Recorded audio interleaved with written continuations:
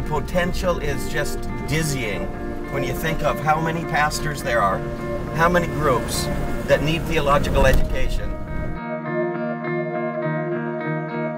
There are so many opportunities that God is opening up for us, and I'm really excited to see what the Lord has for us.